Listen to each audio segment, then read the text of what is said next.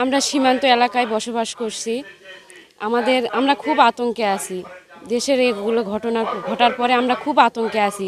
আমরা রাত জেগে ঘর বাড়ি পাহারা দেই, মন্দির পাহারা দেই। এই এই সময় আমাদের পাশে বিজেপিরা আসছে। তো আমরা এখনও খুব আতঙ্কের মধ্যেই দিন কাটাচ্ছি। বিজেপি আসার পর থেকে আমরা একটু সান্ত্বনা পাচ্ছি যে ওরা আমাদের পাশে আছে, এরকম মনে হচ্ছে আমাদের। এছাড়া আমরা অনেক আতঙ্কে ছিলাম যে থানায় কোনো পুলিশ ছিল না। কোনো থানায় কোনো পুলিশ ছিল না। অনেক আতঙ্কে ছিলাম, কারণ যারা আমাদের পাশে দাঁড়াবে তারাই তো আমাদের পাশে নাই। আপনারা সবাই জানেন যে আমাদের যেই নতুন প্রেক্ষাপট, এই প্রেক্ষাপটে আমাদের সংখ্যালঘু ভাই বোনদের মধ্যে এক ধরনের শঙ্কা ওনারা আশা করছে, পোষণ করছেন।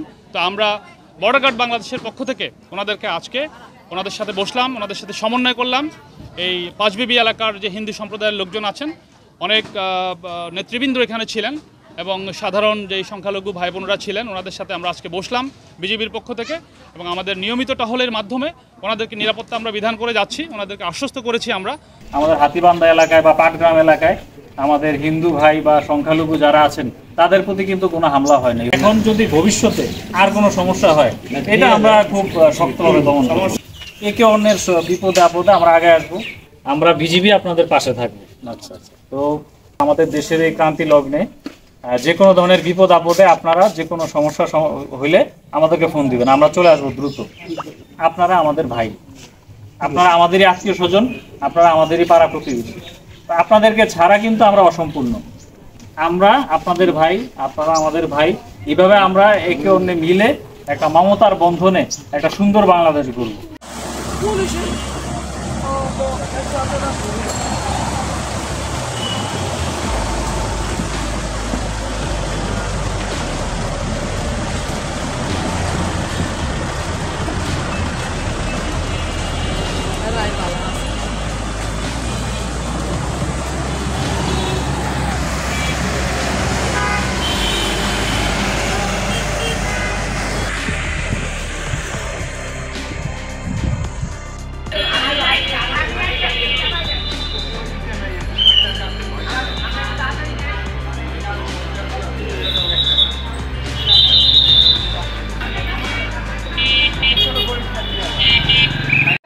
আসলেই যে এখন যে অন্যান্য জাতির বা অন্যান্য ধর্মের যে মানুষগুলো একটু আতঙ্কে রয়েছে, সেই আতঙ্ক কাটাতেই কিন্তু বিজিবিরা সব ধরনের পদক্ষেপ নিয়েছে। বিশেষ করে সেই মন্দিরগুলো, তারপরে গির্জাগুলো, সব ধরনের ধর্মাবলম্বীর যে ধর্মীয় প্রতিষ্ঠানগুলো, তারা পাহারা দিচ্ছে। একটা কথা বারে বারে আসতেছে এটাও তোমাদের বলি। পত্রপত্রিকা আসতেছে খামোকা একটা জিনিস, হিন্দুদের আক্রমণ করতেছে, বৌদ্ধদের আক্রমণ করতেছে সংখ্যালঘু, কয়জন আছে রে ভাই? কি জন্য তাদের নিয়ে টানাটানি করতেছে? এটা কি দেশের মানুষ না? তোমরা যখন দেশই রক্ষা করতে পারছ, কয়েকটা পরিবার রক্ষা করতে পারবে না? কষ্ট লাগে। সেও তোমাদের সঙ্গে ছিল, তার ছেলে তোমার সঙ্গে ছিল।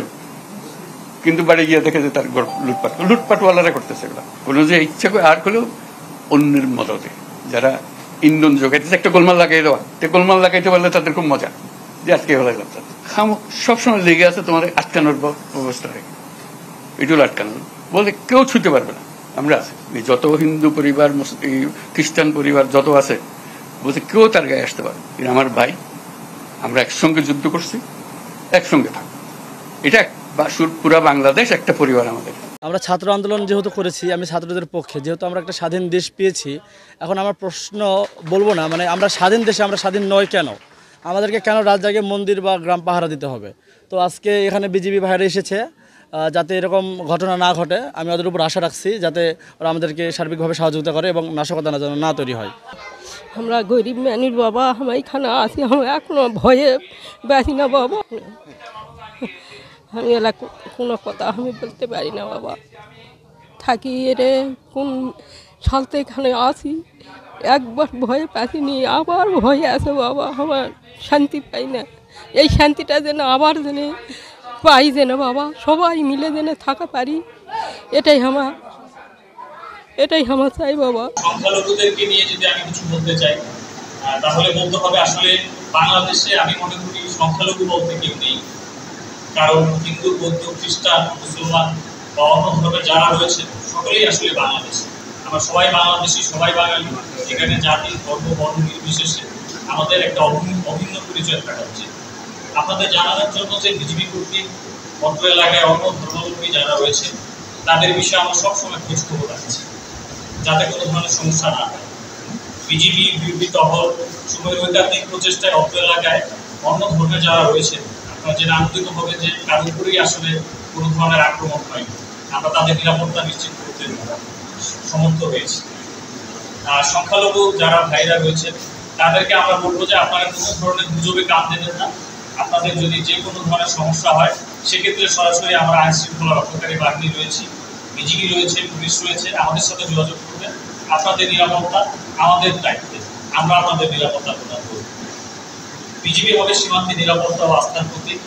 এই মিশনকে সামনে রেখে আমরা জনগণের সেবায় সর্বদা নিজেদেরকে নিয়োজিত রাখব। আমাদের সর্বোচ্চ প্রচেষ্টা থাকবে এই এলাকার শান্তি, শৃঙ্খলা, আইন এবং অন্যান্য যে সকল বিষয়গুলি আছে, সেগুলোকে সমুন্নত রাখা